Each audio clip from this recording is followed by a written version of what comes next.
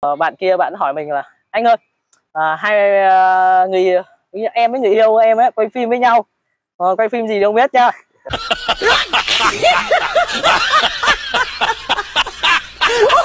nhưng mà quay phim với nhau á mà nó rung quá lắc quá. Chắc là cưới ngựa xem hoa. Ôi, thôi không nói đấy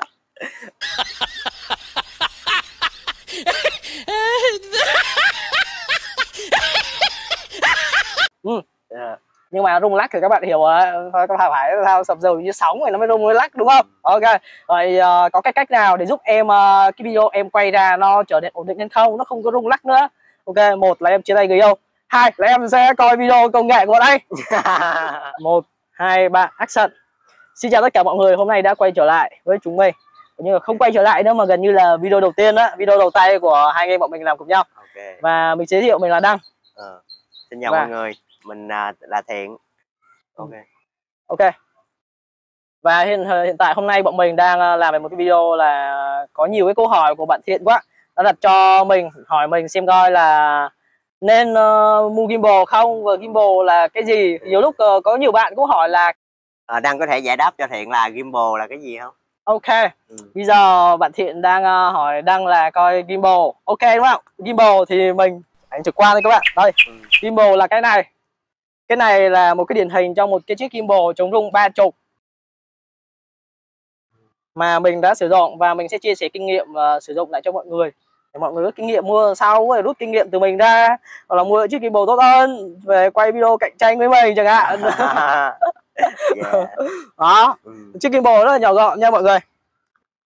Wow. đó gimbal rất là nhỏ gọn. Nhỏ gọn tiện lợi nhỏ nha. gọn tiện lợi.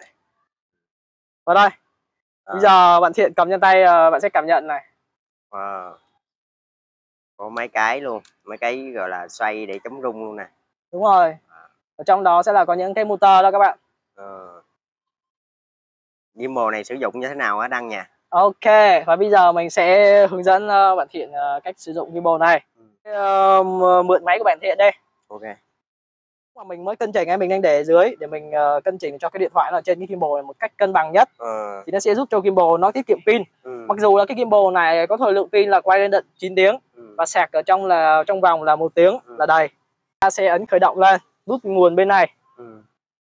đó, đó một tiếng tít Wow. đã kêu lên và giờ gimbal đã ổn định đó các bạn wow. đây là đang ở chế độ on flow nha các bạn thấy cái điện thoại nó giữ nguyên một vị trí không đó cho dù mình đang quay cái nào các bạn có bị rung nhau không các bạn cứ tự xem ạ á á không không phải. Ơ, đẹp quá đẹp quá. Đúng rồi đẹp quá. Đó ờ, các bạn rung lắc cái nào rung lắc sập giường luôn. Ấy không phải. ờ, nó vẫn ổn định nha. Ờ đúng rồi.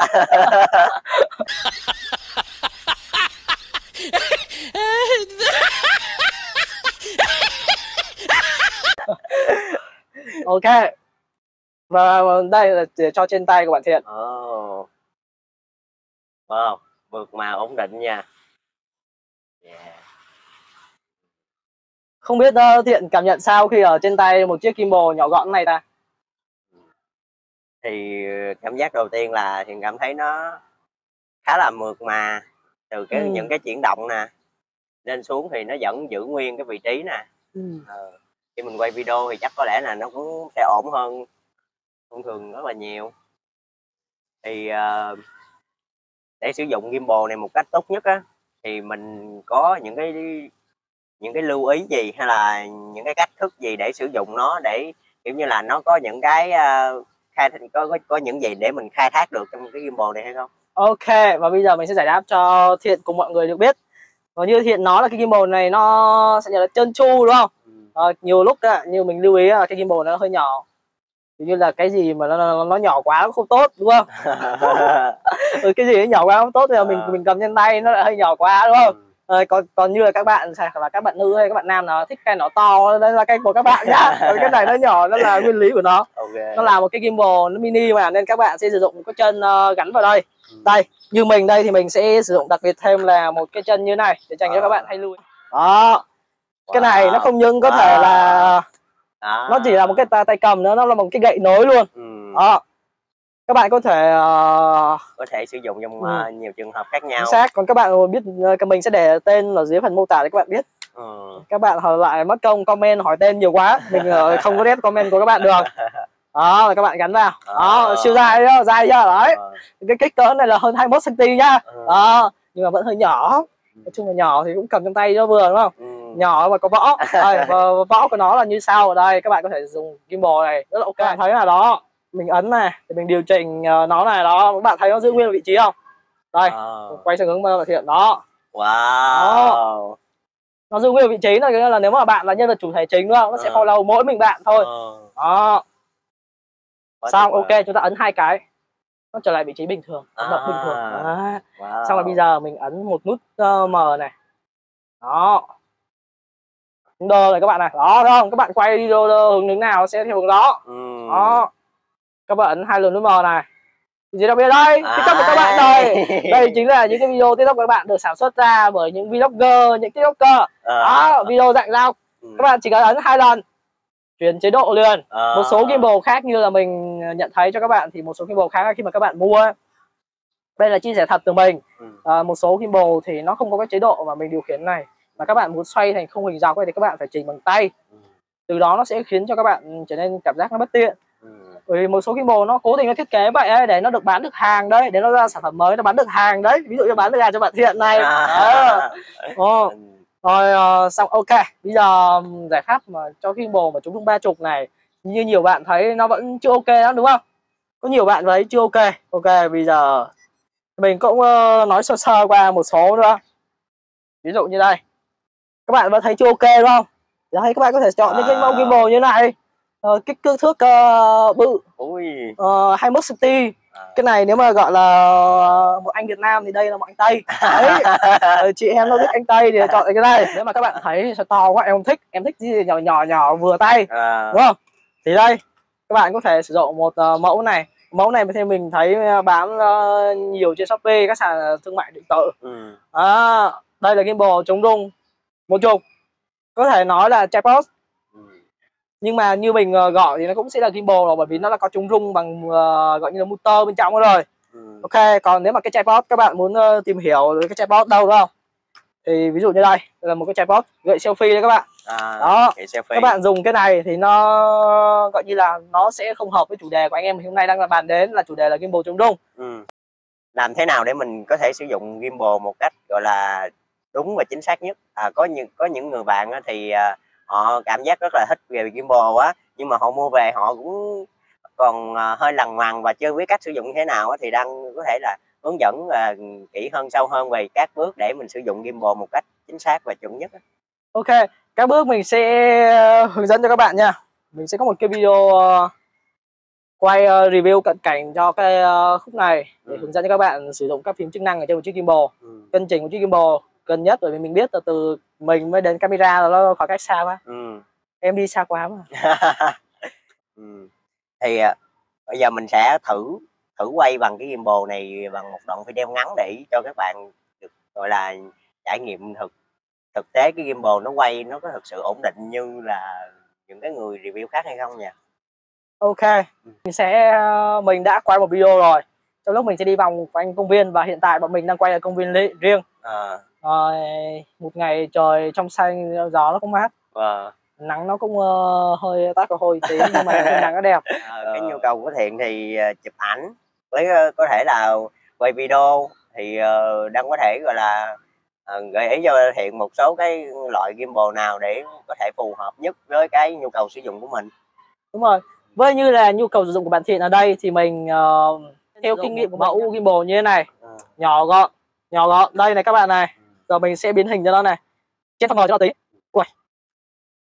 Đó. Mình trên phần ngồi cho nó tí là nó biến hình nhỏ gọn lại này. Đó mình sẽ có cái chân ờ, gậy nối ra Ừ. các bạn thấy không? Rất là nhỏ gọn.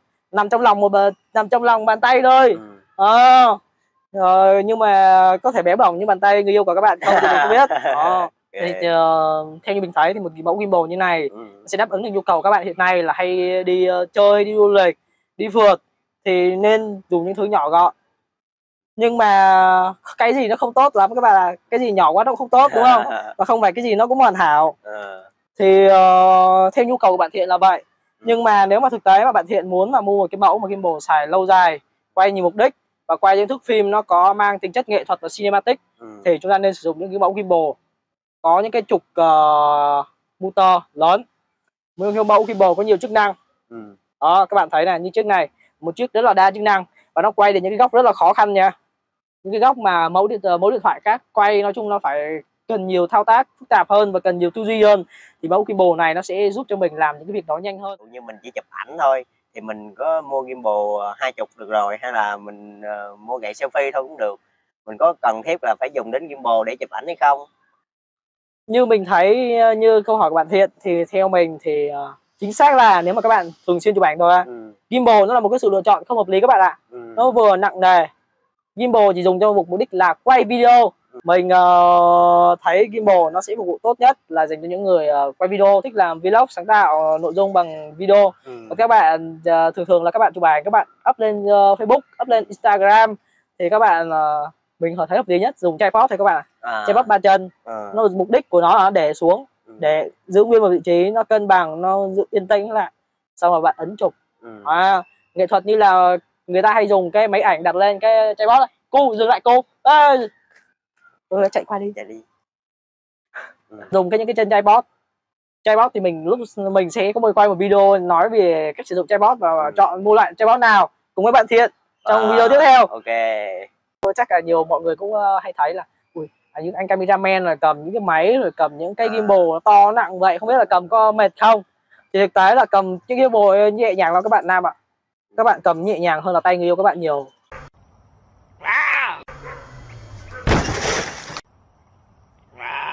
Những lợi ích và những cái tiện dụng mà mình khi mình sử dụng gimbal là gì?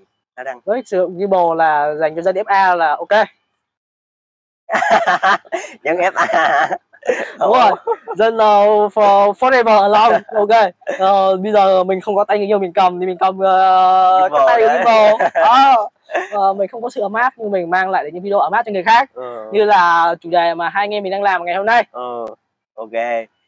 Thì à, cũng cảm ơn năng rất là nhiều vì hôm nay đã à, giải đáp một số thắc mắc à, cho thiện nè cũng như là tất cả các bạn à, cùng xem video. Là mua gimbal tầm giá nào là hợp lý đúng không? Ờ Đúng rồi, như mình thấy ấy, mua gimbal tầm giá hợp lý thì các bạn nên mua gimbal trong tầm giá như các bạn là người uh, mới đi. Ừ. Trong tầm giá 2 triệu là sẽ là những chiếc gimbal ổn định nhất. Và mình khuyên các bạn là nên mua những gimbal của những hãng thương hiệu lớn, ví dụ như là DJI hoặc là Fuji những uh, thương hiệu nói chung nó đã làm nên tên tuổi ở thị trường uh, quay chụp. Sau video này mình đã chia sẻ để cho các bạn uh, cách lựa chọn một chiếc gimbal và gimbal thì sử dụng như thế nào. Thì uh, mình sẽ hẹn gặp lại các bạn trong video tiếp theo. Và video này nếu các bạn thấy hữu ích thì hãy like, share và chia sẻ cho bọn mình để video hữu ích đến với nhiều người nhiều bạn cũng đang muốn quay chụp mà chưa biết là làm cái gì để hết đúng. Ờ, ờ subscribe vào youtube này nhớ subscribe ờ, kênh ờ. nhá. Mấy bạn nhớ subscribe kênh nhá.